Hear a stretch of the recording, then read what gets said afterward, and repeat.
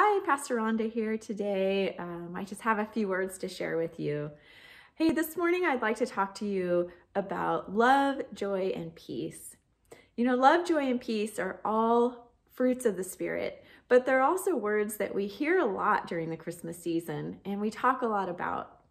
So I wanted to share a verse with you. Romans 15 13 says, Now may the God of hope fill you with all joy and peace as you believe, so that you may overflow with hope by the power of the Holy Spirit. You know, oftentimes in the past, I've thought about the fruits of the Spirit individually and how they apply to my life. But recently, as I've been doing a study on the fruits of the Spirit, I've uh, realized how connected they really are. Oftentimes, they're interwoven together and they even um, build on one another. And so, first off, I want to talk about love.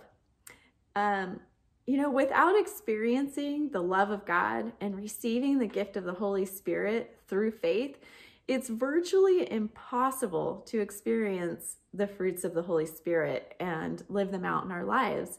Fruits like joy and peace. The foundation is the love of God, which gives us hope and freedom. And that hope and freedom allows us to really um, to really flourish in the fruits of the Spirit. So the next one, joy. The God of hope fills us with joy and peace. A quote I love from a, uh, the recent study I've been doing, it's a She Reads Truth through the Spirit study, said, The Holy Spirit of God holds grief and joy together. It allows both to exist at the same time. I love this because it's not dependent on me. It's something God can do in us.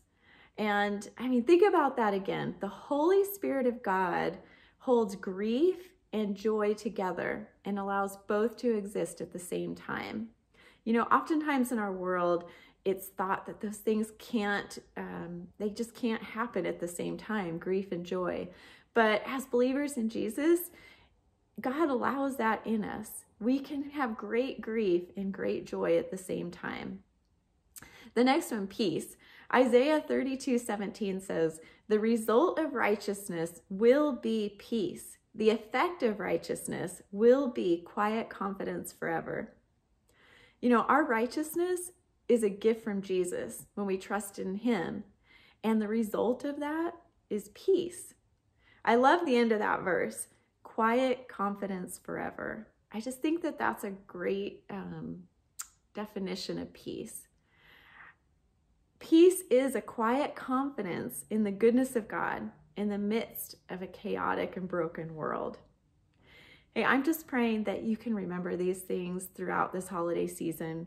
I'm praying for you all to experience God's love, joy, and peace this season and be able to um, just live that out and pass that on to those around you.